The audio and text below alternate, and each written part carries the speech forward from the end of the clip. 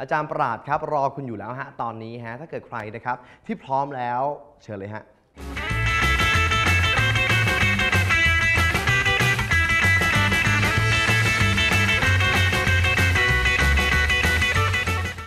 ส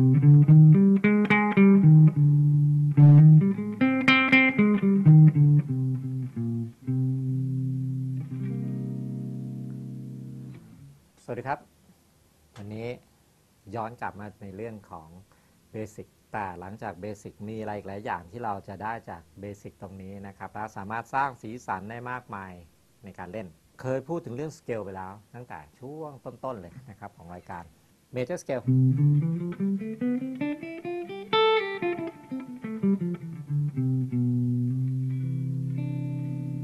Minor Scale ถูก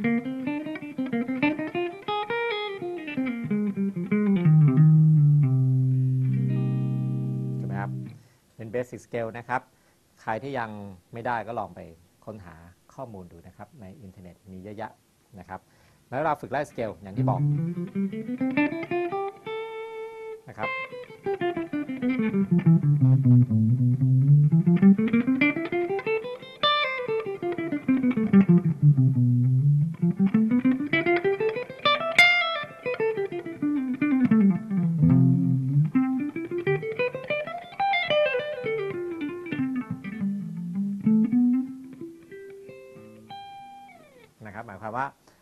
เล่นให้มันได้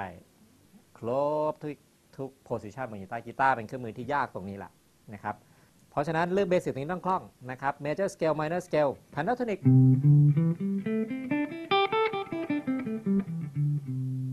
มาจากอะไรมาจาก major scale ไหม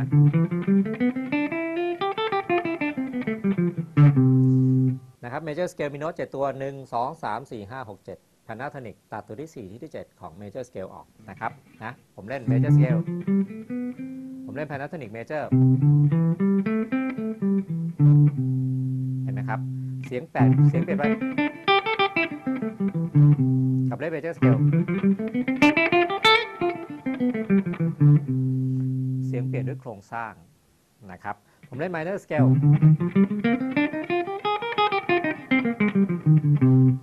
pentatonic minor ตัด 2 กับ 6 ออก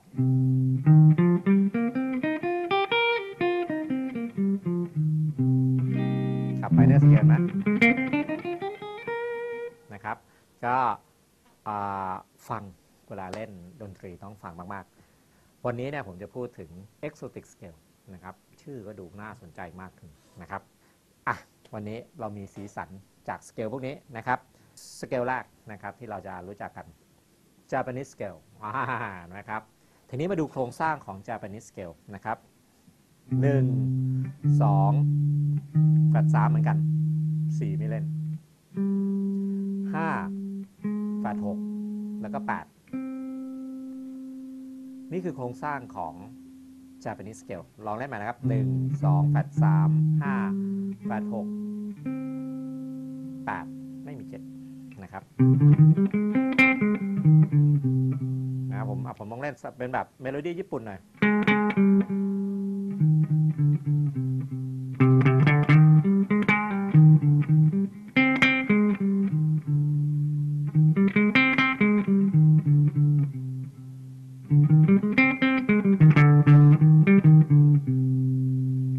เห็นไหมครับ เพียงแค่เราเปลี่ยนหรือเราเข้าใจโครงสร้างของสเกลอื่น ๆ เนี่ย สมมติผมเล่นเพลงไมเนอร์อยู่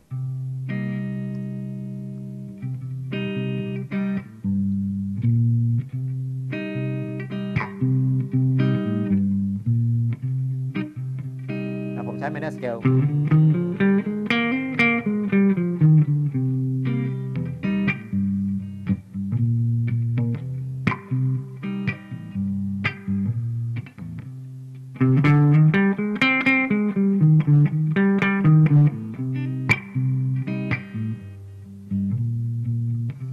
เราจะได้ซุ้มเสียงที่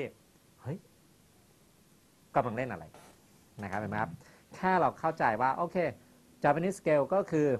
มีโน้ตตัวที่ 1 ตัวที่ 2 ตัวที่แฟด3ตัวที่ 5 ตัวที่แฟด6แล้วก็ตัวที่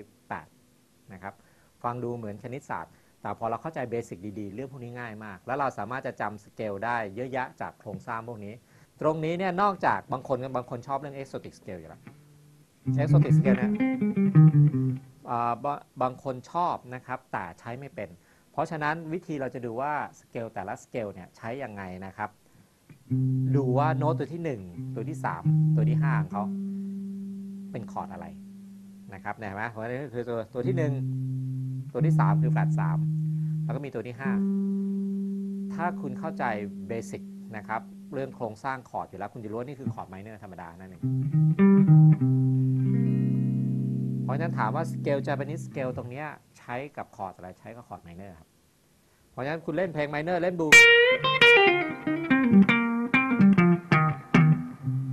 นบลูอยู่นะเป็น minor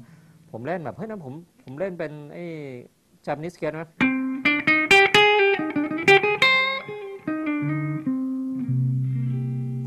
ผมก็จะได้เสียงว่า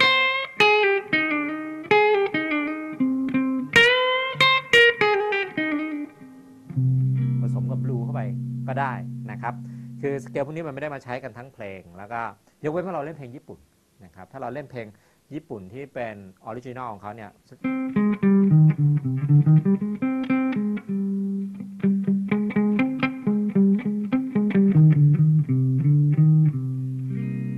นะครับเครื่องโกโตของเขาความจริงมันมีเทคนิคการสร้างเสียงโกโตนะครับ เอากระดาษอะไรมาวางๆให้มันแปะๆนะครับ เดี๋ยวเดี๋ยวเดี๋ยวตอนหน้าผมจะลองทำให้ดูนะครับ โอเค นี่ก็เป็น 1 exotic scale นะครับ ก็ฝากเรื่องตรงนี้ไว้นะครับ เดี๋ยว ตอนหน้ายังมีอีกหลาย ๆ exotic scale มาฝากครับ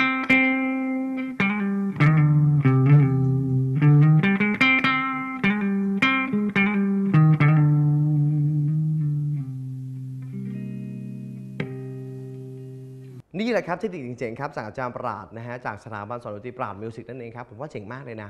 หลายๆคนเนี่ยนะครับอาจจะฝึกฝนด้วยตัวเองครับแล้วก็ค้นหาคำตอบด้วยตัวเองแต่วันนี้ฮะเรามีอาจารย์ปราดครับที่มาคอยบอกสิ่งเหล่านี้ผมว่าดีมากๆ ฉะนั้นเก็บไว้ฝึกฝนแล้วกันครับช่วงนี้เบรกก่อนดีกว่าช่วงหน้ากลับมาเจอกันใน Music c o r e g y ครับแล้วตัวนี้นะครับเขามีการ QC ที่เรียกได้ว่าเขาทดสอบโดยการ drop test